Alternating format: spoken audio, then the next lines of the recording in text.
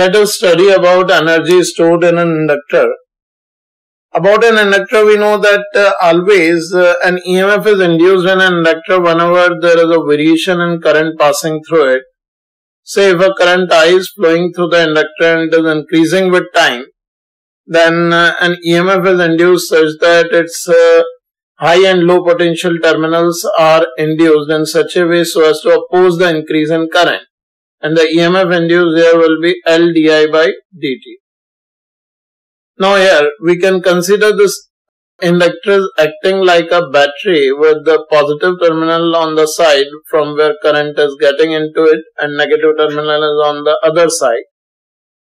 Now in this situation, for this EMF we can say as current is getting into the positive terminal, work is being done on this EMF or work is being done by the external source onto this inductor.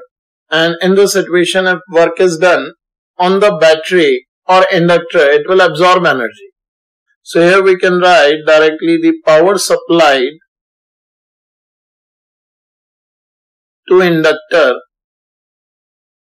This can be given as P is equals to EI watt because E is the EMF induced and I is the current getting into it which can be written as Lidi by dt that is the power supplied into the inductor that is in units of say joule per second per unit time this much amount of energy is being supplied or absorbed by the inductor. So here we can write energy absorbed by inductor in time dt is this energy du we can write as p dt because p is the energy supplied per unit time. This can be written as Li di. So here we can write as the inductor current rises